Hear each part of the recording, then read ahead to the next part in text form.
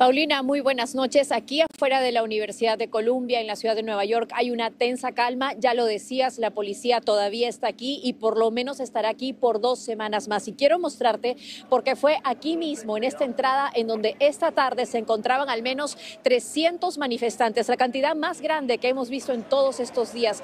Y la policía simplemente comenzó a dispersarlo. Vimos a un grupo de por lo menos 300 policías o quizás más en ambas entradas de esta universidad que queda en la avenida Broadway, una de las arterias de la isla de Manhattan. Ya a esta hora la policía nos confirma que se han arrestado a por lo menos 100 personas. Ellos ingresaron con un eh, camión, con una rampa a través de esta ventana al edificio de Hamilton, una de las oficinas administrativas de la Universidad de Columbia. Y ahí nos confirman fuentes de la policía, encontraron a por lo menos 30 personas que habían tomado este edificio de manera, eh, pues a la fuerza, hace menos de 24 horas. Todos ellos ya fueron arrestados. Y también nos confirma la policía que a diferencia de los estudiantes que fueron arrestados hace ya más de una semana y que luego regresaron a formar este campamento, los que fueron arrestados dentro de este edificio podrían enfrentar por lo menos cargos por intento de robo, ya que entraron a la fuerza a esta propiedad privada. Ellos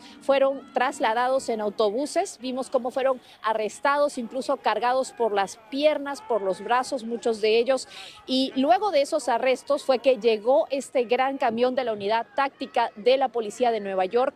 Con esta rampa vimos cómo por lo menos 60 oficiales de policía ingresaron por la ventana para poder desalojar este edificio. Esto luego de que la presidenta de esta institución académica le solicitó al departamento de policía que ingresara porque obviamente estos estudiantes, según ella, pues estaban básicamente invadiendo de manera ilegal esta institución. Ahora bien, Hemos visto que estas protestas se han esparcido en otras universidades en todo el país.